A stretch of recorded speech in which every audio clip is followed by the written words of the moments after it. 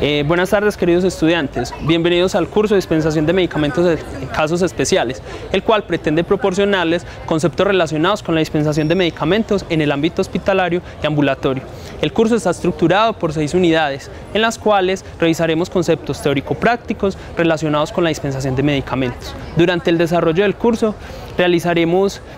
varias actividades dentro de las que tenemos encuentros sincrónicos, realización de foros y al final del curso ustedes deberán entregar un proyecto integrador en el que se pretende evaluar todos los conceptos adquiridos durante el curso. Mi nombre es Andrés Felipe Valencia, soy químico farmacéutico de la Universidad de Antioquia, actualmente laboro en la unidad de cuidado crítico pediátrico del Hospital Pablo Tobón Uribe, espero eh, poder compartir con ustedes mi conocimiento y la experiencia adquirida para que juntos construyamos un aprendizaje que finalmente